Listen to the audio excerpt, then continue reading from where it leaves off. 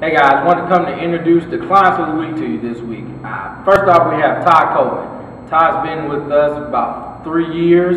Um, when Todd originally came in, he could not do a pull-up. One of his goals was to be able to accomplish a pull-up and do multiple pull-ups.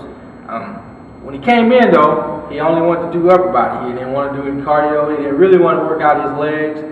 So about seven, eight months ago, we finally convinced Todd that incorporating cardio and incorporating some lower body exercises will help him reach his goals. Well, not only has Todd reached his goal, but he has transformed his body.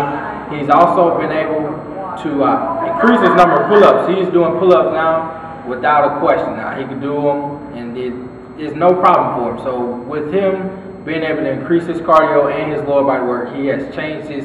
He's been able to reach his goals.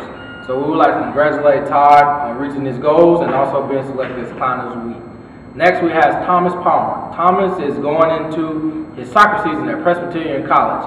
Uh, Thomas was selected because one, he's working a full-time job, and uh, with him working a full-time job during the summer, it's very easy for him to be like, I'm gonna take the summer off, and I'm not gonna work out as much as I should. But Thomas has been there every day uh, for the past month and a half, and so that is something we want to recognize him for because he's dedicated himself to reaching his goal staying in shape for the summer and being prepared for his upcoming season. So we chose Thomas Palma for his hard work and his dedication.